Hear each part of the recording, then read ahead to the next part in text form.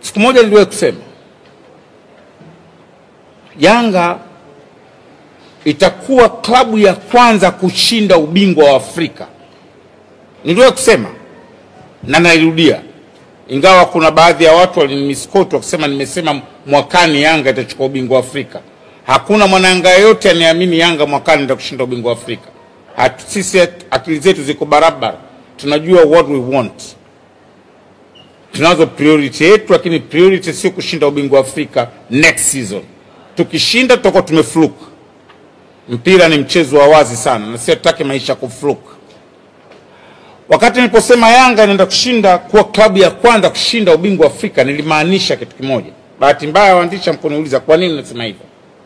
Yanga wanakwenda kwenye proper transformation. Muundo wake, mfumo wake